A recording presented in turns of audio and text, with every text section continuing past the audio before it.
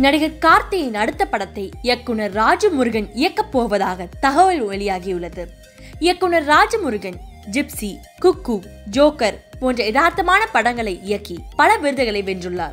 அவரின் அடுத்த படம் கார்த்தியை வைத்து இயக்க உள்ளார் என்ற தகவல் அதிகாரப்பூர்வமாக வெளியாகியுள்ளது. இந்த படத்தின் ஸ்பெஷலான விஷயம் என்னன்னா கார்த்தி முக்கியமான கதாபாத்திரம் பண்ண அவருடன் இணைந்து மக்கள் செல்வன் விஜய் சேதுபதியும் முக்கியமான கதாபாத்திரம் பண்றாராமா. கார்த்திக்கும் விஜய் சேதுபதியும் ஏற்கனவே நான் மகான் அல்ல படத்தில் நடித்துள்ளனர். அந்த படத்தில் கார்த்தி ஹீரோவாகவும் விஜய் சேதுபதி சிறிய கதாபாத்திரத்திலும் நடித்திருப்பாங்க. இப்ப மீண்டும் நடிக்கும் இந்த கூட்டணி கார்த்திக்கு இணையான கதாபாத்திரத்தில் விஜய் சேதுபதி நடிக்கிறார். ராஜமுருகன் இயக்கி கார்த்தி விஜய் சேதுபதி நடிக்கும் இப்படம் மாசாக இருக்கும் என எதிர்பார்க்கப்படுகிறது.